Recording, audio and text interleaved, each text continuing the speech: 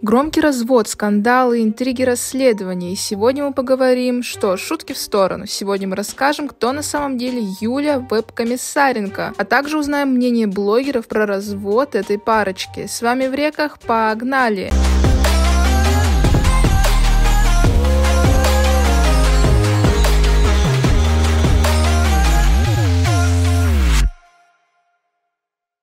Все тайное становится явным, такой девиз 21 века. И правда, как бы более-менее публичные люди не хотели скрыть свое прошлое, однажды приходит день, когда все грязное белье вываливается наружу. Да еще и с примесью вранья. Итак, если кто в бронепоезде, Слава Комиссаренко, белорусский стендап-комик. Молодому человеку 38 лет, за спиной у него крепкие и не менее таинственные отношения сроком 5 лет. Но вскоре после расставания Слава встречает Юлю Ариэль Ариэль, и в 2023 году они играют свадьбу. Не думаю, что для кого-то станет открытием факт того, что Юля в прошлом была вебкамщицей, и, собственно, поэтому Славик и заявил во все услышания, что с обманщицей и изменщицей ему не по пути, а если быть точнее, вот его слова. В этой ситуации ужасно все, о ней унизительно говорить, но молчать о ней, наверное, еще более унизительно. Нет, я об этом ничего не знал, а когда я узнал и спросил, мне все равно соврали. Да, я считаю, что прошлое у человека может быть каким угодно, но вы должны об этом открыто сказать партнеру, а не скрывать это и не отрицать это до момента, когда это все вскроется, сообщил Комиссаренко. Комик также подчеркнул, что не чувствует себя рассерженным, но ему грустно из-за сложившейся ситуации. Да, сказать о таком непросто, страшно и вообще как будто невозможно, но еще страшнее, когда твой муж узнает об этом из интернета посреди вашего медового месяца, добавил Стэн стендапер. Итак, кто вообще такая юная красотка Юля? 12 сентября 2023 года блогер и модель Юлия Шашкова в своем аккаунте в социальных сетях опубликовали свадебные снимки, сообщив, что стала женой Славы Комиссаренко. Судя по фото, церемония бракосочетания прошла в узком кругу друзей, которые собрались в одном из отелей в Турции. «Привет, мой муж», прокомментировала церемонию Шашкова. Сам Комиссаренко тогда ничего не рассказывал о заключении брака. Судя по снимкам в блоге Шашковой, за последние месяцы пара посетила Чехию, Великобританию, Турцию, Индонезию, Италию, США и Нидерланды. В это же время в сети появились публикации, в которых предполагалось, что супруга юмориста ранее работала вебкам-моделью. Как сообщил Стархит, Шашкова в прошлом снимала откровенные ролики. В 16 лет встречалась с мужчиной гораздо старше нее, а ее мать судили по статье 228 «Незаконное производство, сбыт». Портал Woman.ru со ссылкой на пластического хирурга Александра Вдовина сообщил, что Шашкова снова увеличивала губы и не раз делала пластику, удаляла комки биша и могла изменять форму носа. По слухам, Шашкова не ограничивалась роликами, но и уезжала на личные встречи в сауны. Но слухи дело такое, сами думаете, верить или нет. Недоброжелатели всегда найдутся. В своих соцсетях Шишкова нередко рассказывала, что в школьные годы ее травили из-за внешности. В старших классах девушка попыталась побороть свои комплексы с помощью макияжа, что впоследствии вылилось в серьезное увлечение. Кроме того, подписчики нашли страницу Юлии на Ask.fm, сеть вопросов и ответов. Там на вопрос, какой твой любимый напиток, девушка ответила, что предпочитает водку, самбуку и многое другое. После окончания школы Юлия поступила в Запорожский национальный университет на специальность реклама и связи с общественностью. Параллельно Шашкова подрабатывала менеджером по продажам, однако с учебой у девушки, видимо, не сложилось. Спустя два года она забрала документы из вуза и запланировала поступать в другой. В 18-19 90-х годах Шашкова переехала в Москву и начала активно вести блоги в нескольких соцсетях. В это же время девушка начала заниматься визажем и набрала модели через сервис объявлений. Как они познакомились? Шашкова зарабатывала деньги, продавая свои интимные фотографии, а вырученные на этом средства тратила на пластические операции. Она переехала из Киева в Москву, но после начала пандемии коронавируса вернулась на родину, где познакомилась с белорусским комиком. После выступления она подошла к Славе якобы за автографом и начала кокетничать чуть слово за слово обменялись телефонами, начали встречаться, а когда Слава переехал за границу, видимо, позвал ее с собой, сказали знакомые девушки. По словам источников, Шашкова не была поклонницей стендапа, ее целью было стать девушкой звезды. После раскрытия правды Юля долго молчала, но в итоге комментарий все-таки пришлось дать. Сначала в телеграм-канале Юлии появилась неуместная шутка, связанная с вебкамом и фамилией Комиссаренко. Может, фамилию поменять на веб-комиссаренко? Иронизировала девушка. Говорят, что ее телеграм просто взломали. Немногим после она написала в своем телеграм-канале, что много лет назад подрабатывала вебкам-моделью, но это длилось всего несколько недель. Поэтому этот эпизод практически стерся из ее памяти. Потому что порицание подобных действий так или иначе заставляют тебя оставить их самыми потайными и забыть, сказала девушка. Юля также отметила, что у нее не было должного полового и как такового воспитания и окружения, которое смогло бы предостеречь от подобного занятия. По ее словам, она уже давно прошла тот возрастной период юношеского инфантилизма, когда хотелось откровенничать перед камерой. Воспитывала в себе лучшие качества и жила жизнь обычной женщины, которая хотела счастья, собак, устроила планы на будущее. И все мои потайные желания на сегодняшний день были это посетить Антарктиду и путешествовать по Америке на машине. Но произошло то, что произошло. И значит, так должно было случиться. Я простила себе эту ошибку, и на этом ставлю точку всей этой истории, написала Шашкова. Интересно, что беды в жизни Комиссаренко навалились одна на другую. Сначала его преследовали КГБ Белоруссии, потом несколько отказов в получении визы стран ближайшего зарубежья, переезд в Турцию, и вот жизнь начала налаживаться, а тут опять мимо. Кстати, многие публичные люди тоже высказались о ситуации. Многодетная мать и модель Мария Погребняк уверена, что комик повел себя неправильно, его пост очень странный, он зачем-то оправдывается, и в то же время есть ощущение, что унижает жену. Как думаете, а прошлое разве влияет на ту любовь, которая привела пару к алтарю? И смолчала и Катя Кищук. Во-первых, она вебкамщица. И что? Второе, ты женился на ней? Женился что, спустя месяц после знакомства? У нее буквально в нике все написано. Третье, идти на поводу у дебилов, которые пишут чушь и не защитить свою женщину. Слав, надо было сказать. Да, моя жена вебкамщица, вы все на нее дрочили, а она досталась мне. Айза поддержала любовь. Читаю новости про Славу и его жену, а мне жалко, ребят, любят же друг друга, разженились. А тут такое. Все сразу откопали про нее все грязное белье, надеюсь, что любовь победит.